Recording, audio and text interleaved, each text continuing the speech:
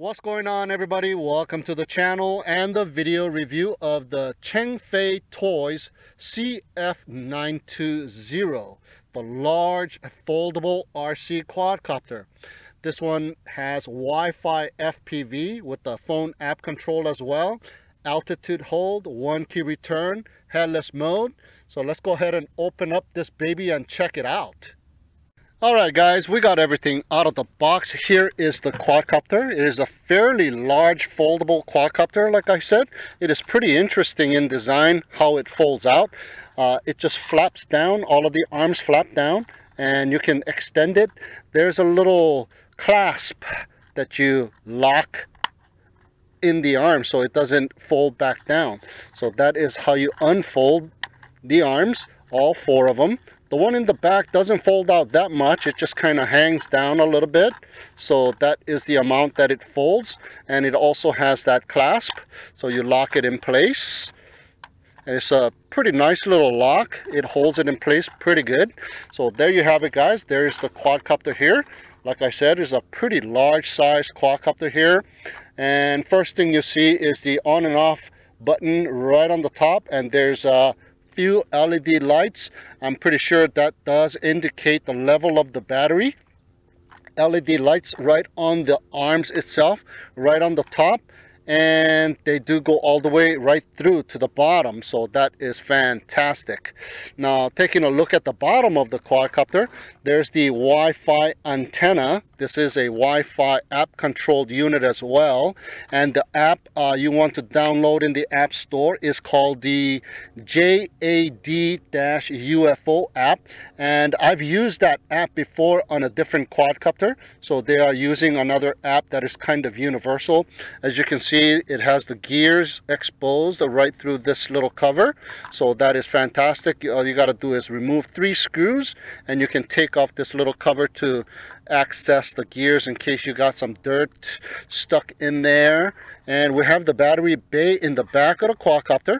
And here is the battery. It is a JST connected battery here as you can see but you charge it up through this balance port or the balance plug um, what I did was I just char charged it up with the JST connector on my hobby gray charger and it took uh, about 20 minutes or so to charge it up fully so that was good. I believe this battery here it is, it is unmarked. It doesn't tell you anything but it is a 7.4 volt 850 milliamp size battery supposed to give you a runtime of around eight to nine minutes guys.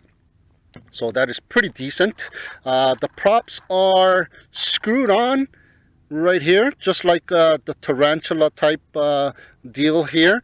And the motors are the um, not the round type motors. It does have the flat sides to it but what it looks like is it's slightly smaller than the tarantula motors. I'm not sure about that. I have to take it out and compare the two but uh, it looks right around that same size. So we might have a pretty good amount of power on this one now looking in the front of the quadcopter here, there is the uh, camera right up in the front and it is a module. So you are able to take this camera right out. So I'm going to go ahead and do that. I tried it out last night, but you have to kind of remove this Wi-Fi antenna because this is the spot where you want to push out and I didn't want to damage the antenna.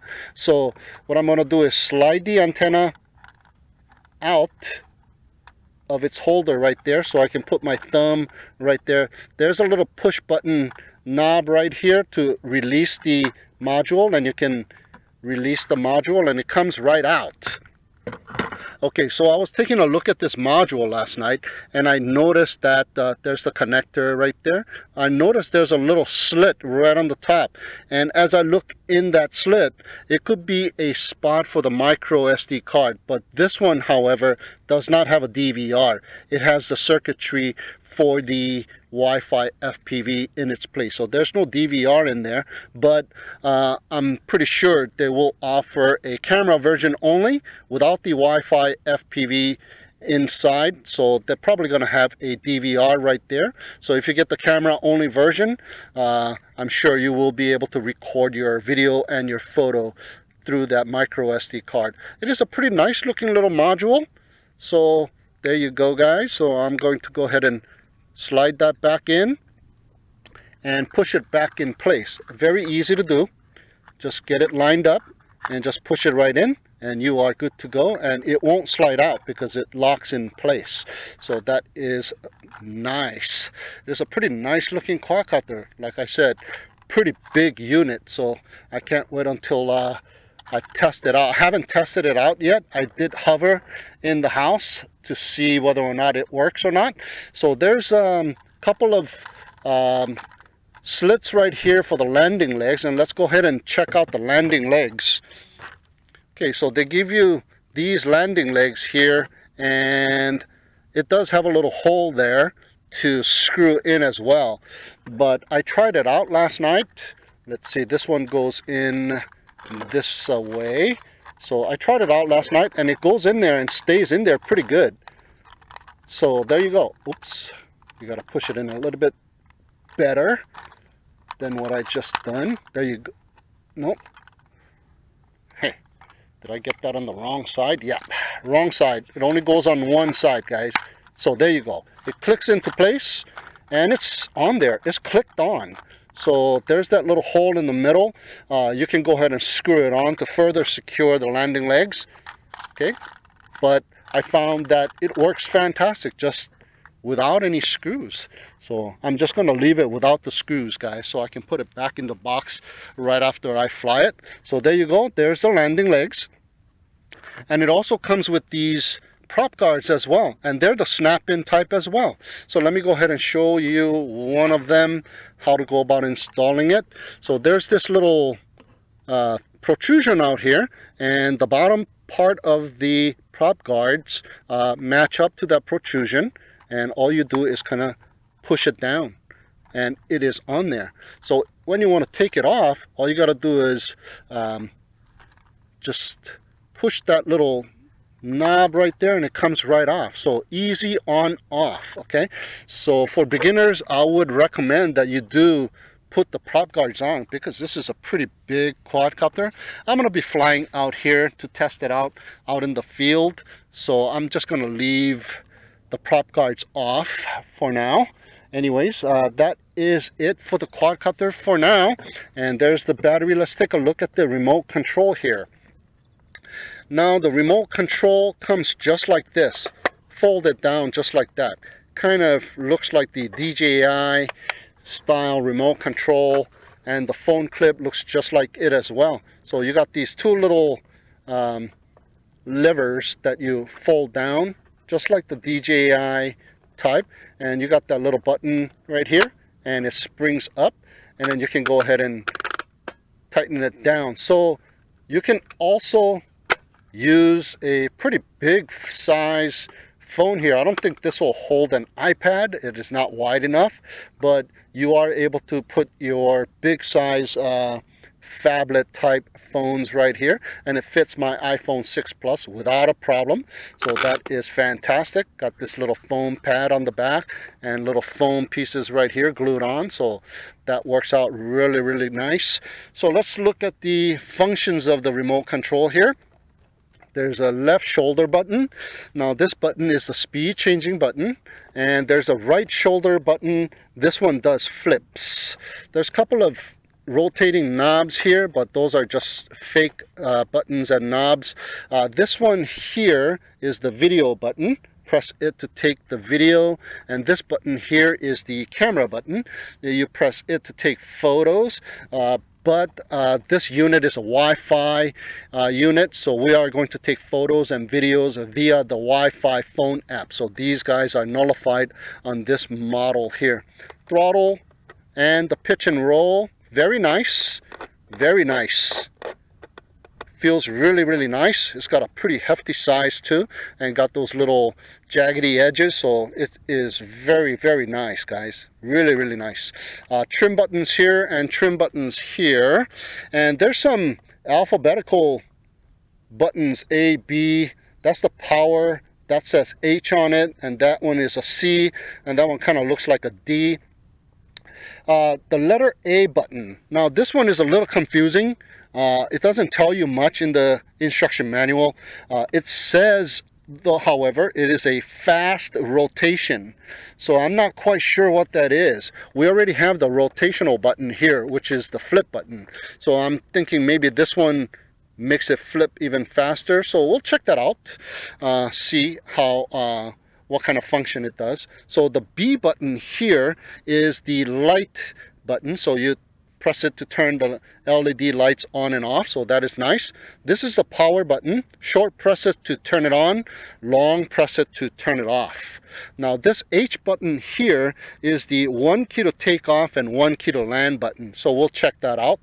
The C button here is the headless mode button and the D button here is the one key to return button. So that is all familiar to us. So both sticks to the bottom and to the right will calibrate the gyros of this quadcopter. Okay, so that is the remote control. And I've already shown you the prop guards. Uh, they give you also two additional props. And these props uh, have that little screw on okay and they also give you a bag of goodies. We got the USB charge cable. We have a nice uh, uh, screwdriver and this one is really nice. Mine um, I have a similar one like this from the Tarantula and I still use it. So it is a really nice um, screwdriver and they also give you a little bag of screws as well and here it is the addendum to the instruction manual and this one shows you all of the uh, QR codes to download the app from the app store. And again the name of the uh, app is called the JAD UFO app and this kind of shows you uh, how to use it so it is very self-explanatory once you get into the app and you can check that out. And also give also comes with this instruction manual as well. So let's go ahead and take this big folding quadcopter, the CF920 for a test run. All right, we are just about ready to go with the CF920.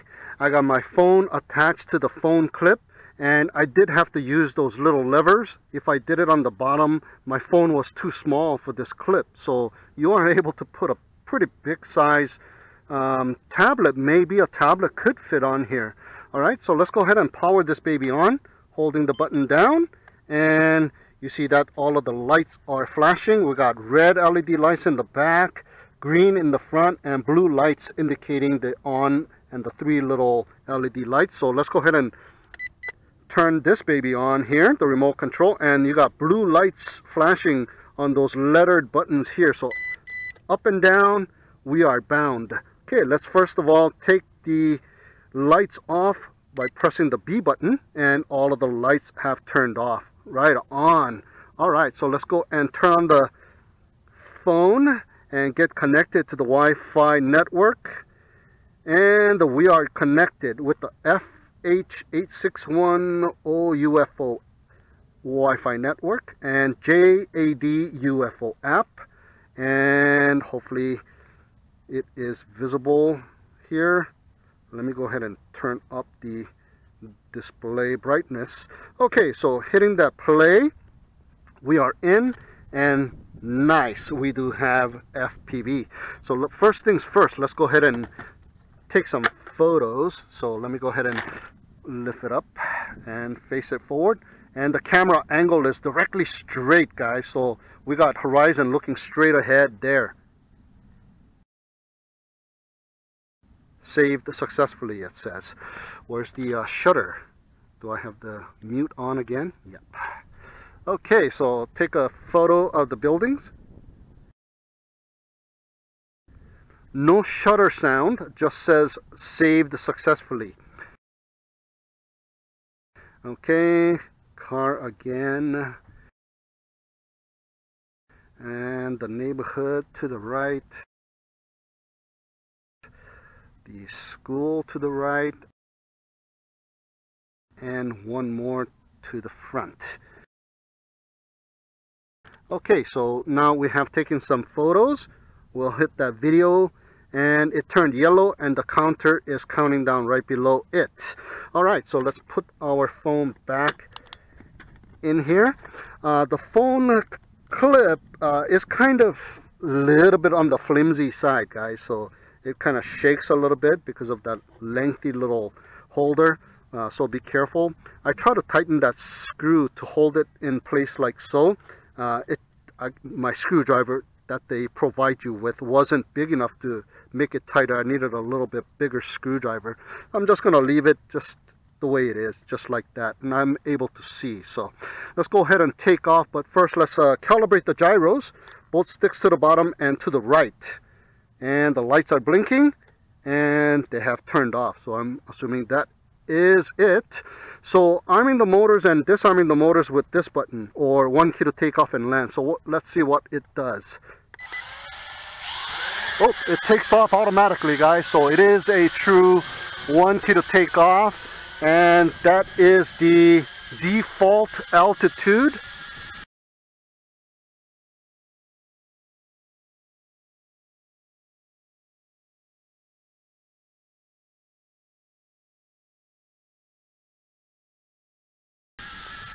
Kind of sounds like the tarantula is making kind of a vibration noise. As if. Okay.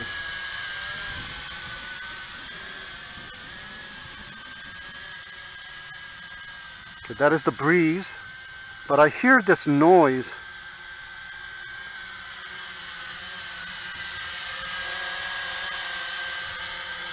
Okay I guess it's okay slightly kind of a vibratory noise not a solid steady sound but maybe it is just breaking in the motors. And I haven't touched the throttle yet. We are slowly going down and down in altitude. So let me hit that throttle bring it back up. Okay so far so good looks like.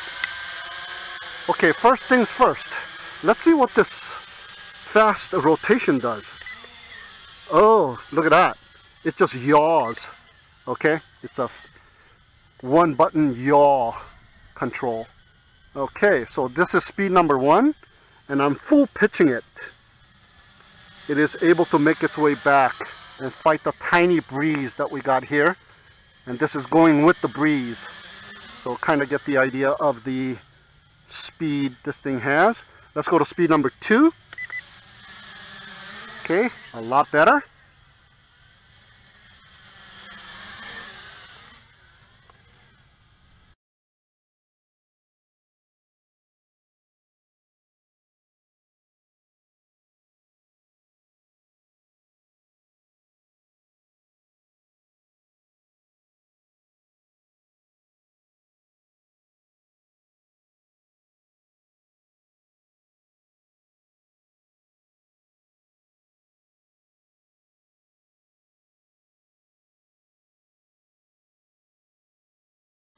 Okay, it's got pretty good speed in speed number two.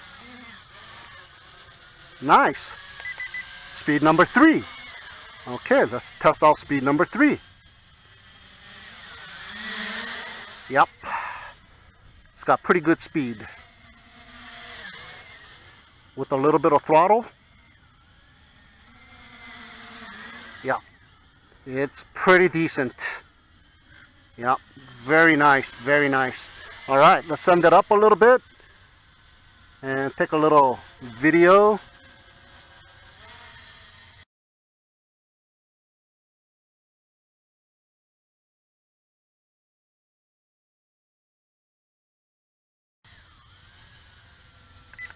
Go to speed number one so I can pan slowly.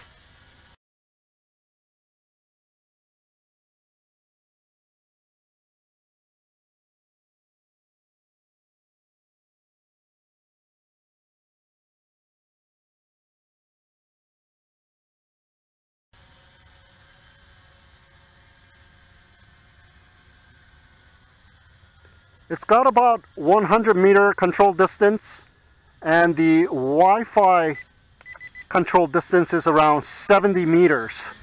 Okay, so far so good. Not bad at all. Whoa, on speed number three, the yaw is pretty fast.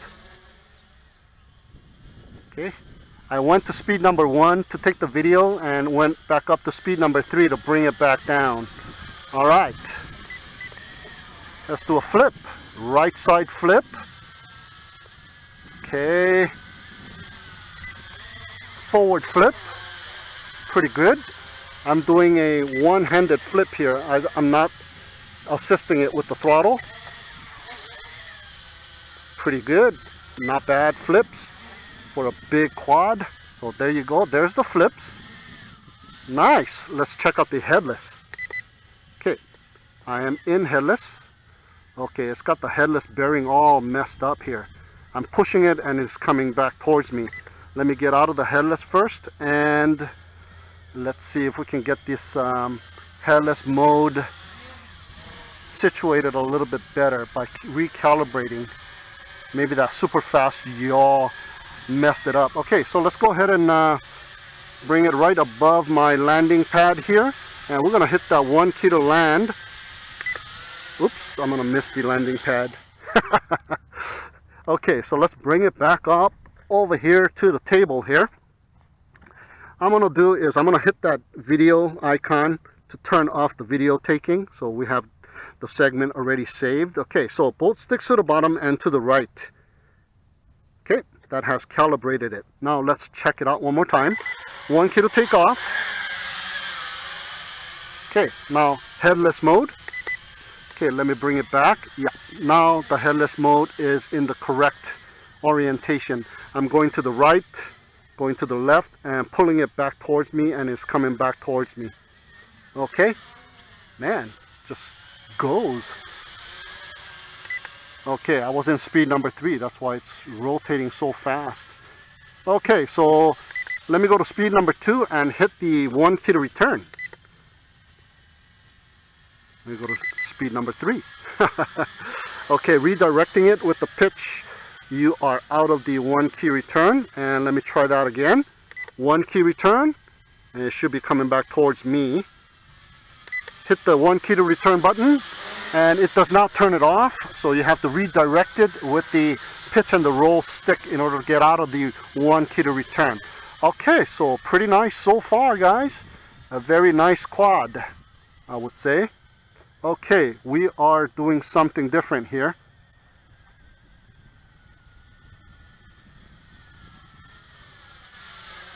it feels like I'm in headless mode still. So let me hit that button again. Yeah, I was in headless mode. Okay, let me see one key to return. All right, and it's returning. I've redirected it.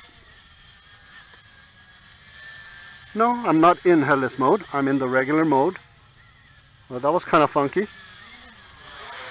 Okay, so we have tested just about everything here. So let's go for a little cruise. And see if we can run out the battery. It kind of stopped the responding right there. Okay, so take a note of that. I think it's got to do with the Wi-Fi phone app and the fact that they are using the same frequency, the 2.4 gigahertz. So I'm to go ahead and bring it down for a landing since I have enough battery and we tested it everything. Hitting that one key to land and this time I am almost on top of the landing pad. Alright. Okay, I think we have a little bit of battery life left after that little initial run. So I'm going to go ahead and try and see if I can fly it with the Wi-Fi phone app. So let's go ahead and okay, turn it on. Go into the settings into the Wi-Fi and let's connect with the FH8610 UFO network. I am connected. Hitting that JAD app and hitting play and we got Wi-Fi connection. Now this thing has altitude hold, it has a gyro and on and off. Of course the camera, the video, and the folder, and 30% speed, 60 and 100. Okay, let me hit that on and off. Now I also have the flight planner and the flip button that appeared. Okay, so let me hit that altitude hold and check that out the lights went solid now we are connected I don't think I have a light on and off switch on here. We also have the emergency stop and the up arrow and the down arrow that just appeared okay? So let's go ahead and see if we can still take a video while we use the phone app. I, I can't turn the lights on and off guys. Let me hit that settings. This one just has the reverse the 3d the headless mode and the gyro. Let me hit that gyro and check that out. Calibration. Nice okay let me get out and hit that one key to take off Yep, one key to take off on the phone app as well. And that is the altitude with the phone app. So let's see. We are in speed number three, which is the 100%.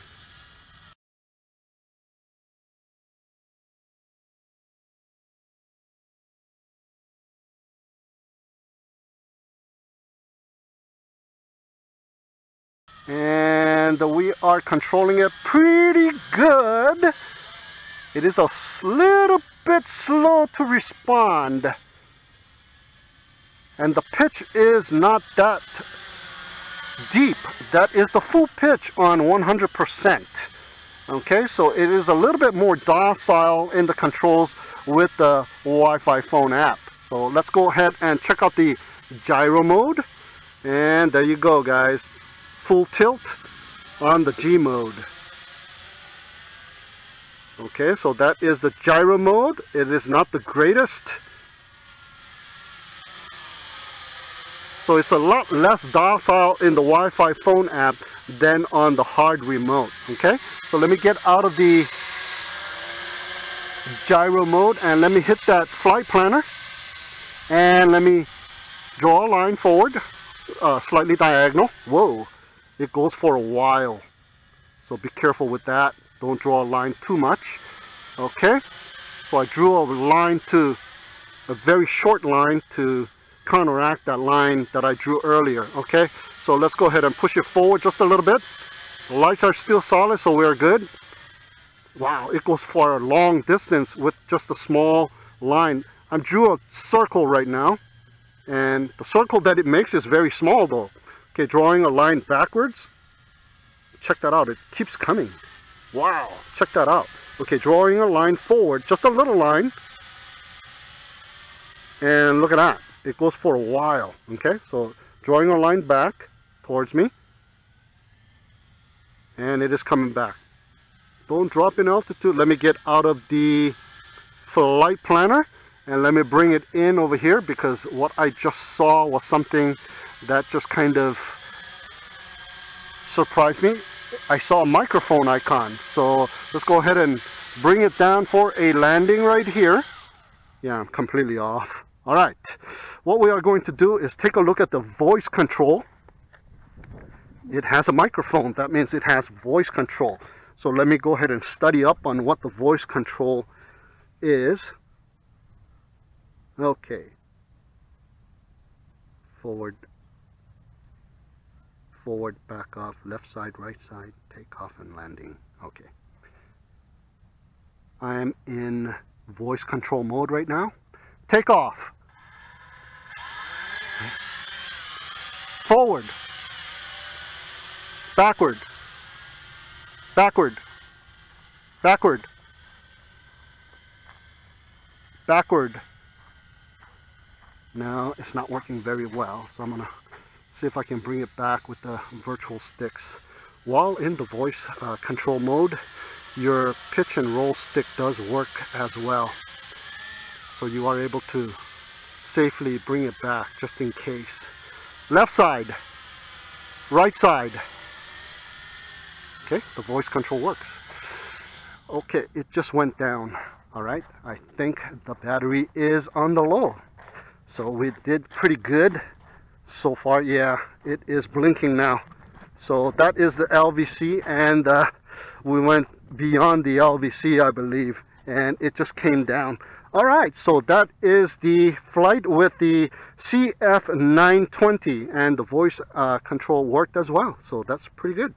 So let's go ahead and turn it off. Turn off my video. So hopefully I got all that and turn off the power.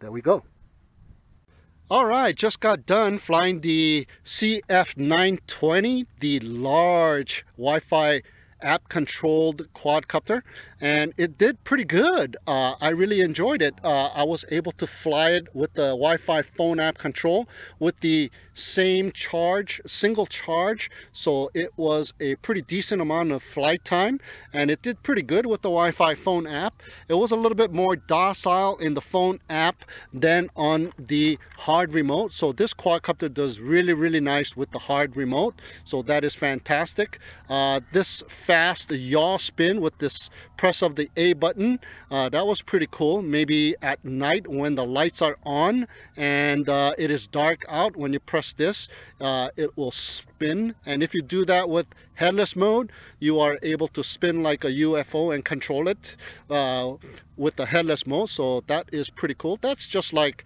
uh, holding on the yaw to the left or to the right. So I'm not sure if that is a really necessary functionality, but it is there for you to enjoy. So there you have it, guys. The CF920, the large foldable RC quadcopter. Pretty decent.